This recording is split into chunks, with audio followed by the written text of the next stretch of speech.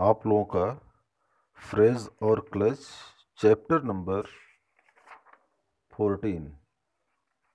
मैं एक्सप्लेन कर रहा था, फ्रेज और फ्रेज एंड क्लेजेस जिसमें मैंने पेज नंबर 88 की एक्सरसाइज एक्सप्लेन किया था आप लोगों को, जो था एडजेक्टिव क्लेज क्या था?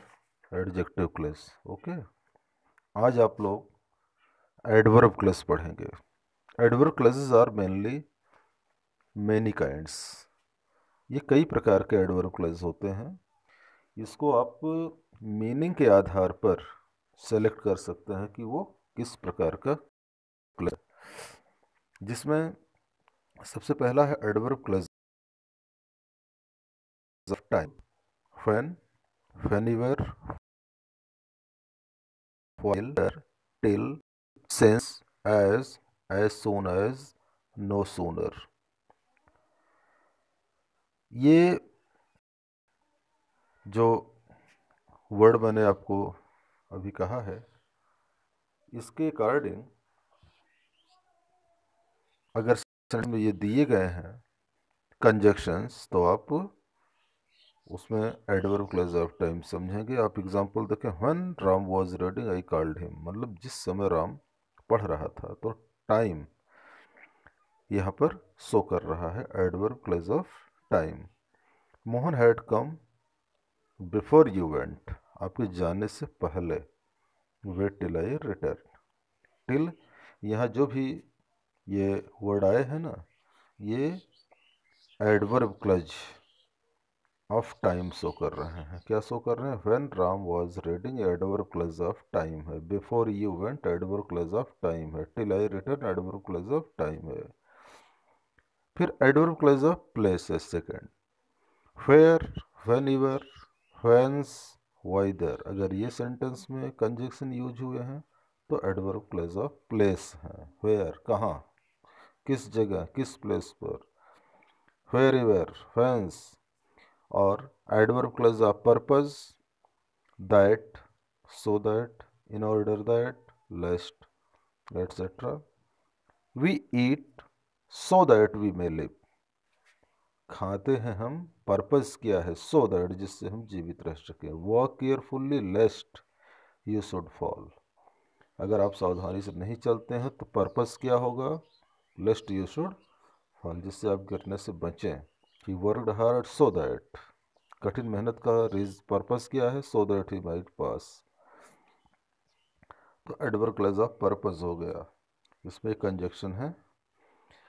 एडवर्क क्लेज ऑफ़ रीजन कारण बिकॉज़ एज दैट सिंस ये वर्ड अगर सेंटेंस में आए हैं प्रीपोज कंजक्शन के रूप में तो ये एडवर्क क्लेज ऑफ़ रीजन है।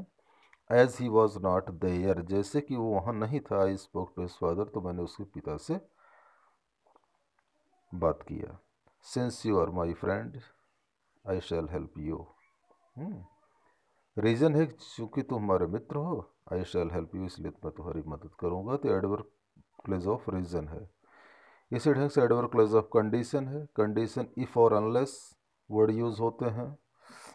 इफ़ इट रेंस यदि वर्षा होती है तो वी शेल नॉट गो तो हम नहीं जाएँगे unless he work he work hard he will fail यदि वो कठिन मेहनत नहीं करता है तो ही विल फेल वो फेल हो जाएगा। इस तरीके से एडवर्क क्लास ऑफ़ रिज़ल्ट है।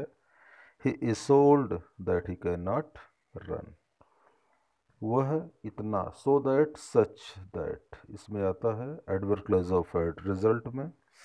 The news is so good that it can not be true ठीक है ना? एडवर्क क्लज ऑफ़ रिज़ल्ट कि समाचार इतना अच्छा है कि सच नहीं हो सकता। The made such a noise that I could not work adverb clause of comparison than और एज वर्ड का यूज़ होता है। Ram is younger than he looks he works harder than I do she does as she pleases ठीक है ना? और last में adverb clause of supposition और कंट्रास्ट, जिसको विरोधाभास कहते हैं। Though Ram worked hard he failed. यहाँ यद्यप राम ने कठिन मेहनत किया लेकिन वो फेल हो गया। Even if it rains we shall go वर्षा के बावजूद विशेल गो हम जाएँगे, ठीक? तो इस तरीके से आपको इतने एडवर्ब क्लज होते हैं। इसको आपको लर्न करना है। अब नेक्स्ट दिया गया है आपको exercise when I finished my work I left the room when I मतलब टाइम दिया है adverb clause of time when I finished quick out the adverb clause when I finished my work ये adverb clause of time है, और इसको आप underline करेंगे। और आगे ब्लैंक जो दिए, उसमें लिखेंगे adverb clause of time he wanted till his father came back he wanted till his father back till यहाँ आया है till वर्ड आप जरा देख लें ये भी एडवर्ब क्लज ऑफ़ टाइम है till his father came back ये है आपका adverb clause of time he is not so wise as you think he is not so wise as you think अब यहाँ पर आपको देखना है कि she is not so wise as you think so as इसको आप कर देंगे adverb clause of result adverb clause of result में आप इसको कर देंगे, ठीक? As soon as she heard the news she started weeping इस तरीके से आप बाकी की एक्सरसाइज को पहचानने की कोशिश करेंगे। सलूशन इसका मैं आपको कल बताऊँगा, क्योंकि अगर मैं आज सब एक्सप्लेन कर दूँगा तो व्हाट यू विल डू तो आप लोग क्या करेंगे?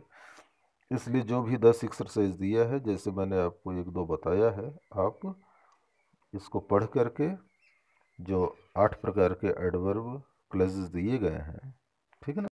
ताकि आपको ये सब कॉम्प्लेक्स सेंटेंस में मिलते हैं। एडजेक्टिव क्लेज एडवर्ब क्लेज और नाउन क्लेज तो आप इसको रीड करेंगे, फिर हम लोग कल मैं इसका सलूशन बताने के बाद कोऑर्डिनेट क्लेज एक्सप्लेन करूँगा। Okay thank you